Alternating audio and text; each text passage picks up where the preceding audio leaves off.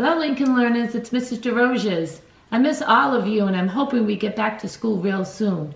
Today, I'd like to go over a two-digit by two-digit multiplication using three different strategies. So the first strategy we're going to go over is the area model.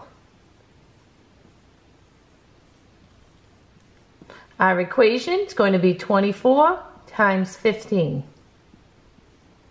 Let's draw our area model.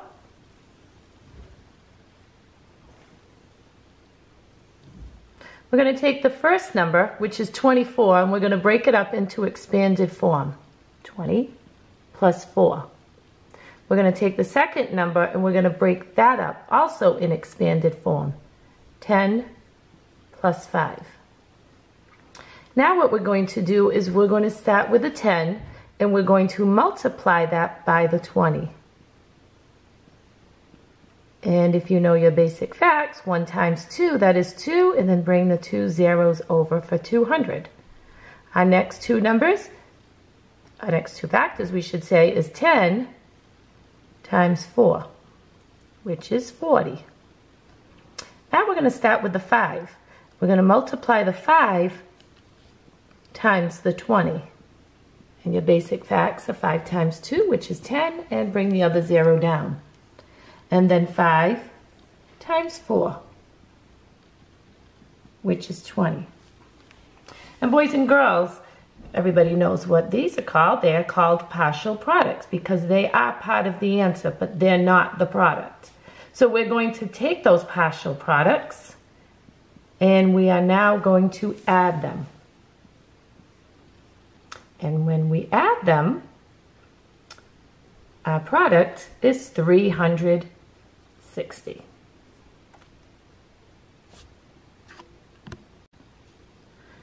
The second strategy that we're going to go over is partial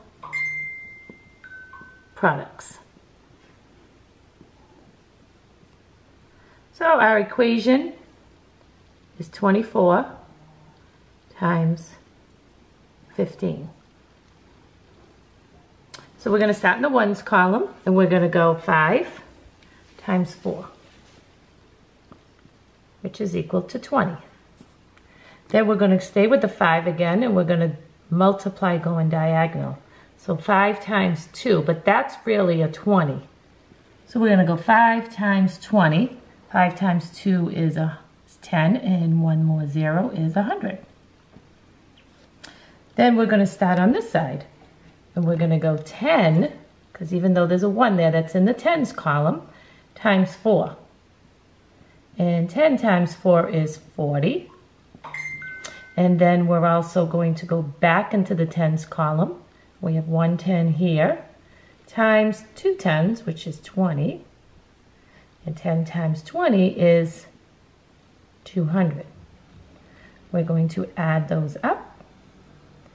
And we're going to get our product, which is 360. Okay, and the last strategy we're going to use is the standard algorithm. So starting in the ones column, we're going to go 5 times 4, which is 20. Drop the 0, carry over the 2. We're going to stay with the 5. Now we're going to go 5 times 2, which is 10, plus 2, which is 12. Okay, now we're going to cross out the 5 cross out the 2 and we're going to place a 0 under the ones column because we're done with the ones. Now we're going to start with the 1 and we're going to multiply going diagonal. 1 times 4 which is 4 and then 1 times 2 which is 2. Add those two together and we get 360. So our product once again is 360.